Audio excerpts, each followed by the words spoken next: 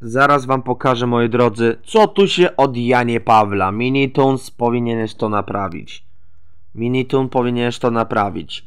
Jakim prawem nie mogę jako, jako Tadzio wejść tutaj? Jakim prawem? To już jest totalnie zepsute. Bez kitu. To już jest totalnie zepsute. A zobaczmy jeszcze inne pomieszczenia. Jeszcze w tym chapterze. Tutaj też nie mogę wejść. Nie no, to jest mocno zgliczowane, serio wam mówię. Więc moi drodzy, dajcie znać w komentarzu, czy wy też o tym tak sądzicie. Bo ja sądzę o tym tak. Minitunes powinien to naprawić.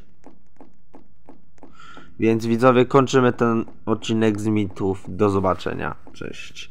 Elo.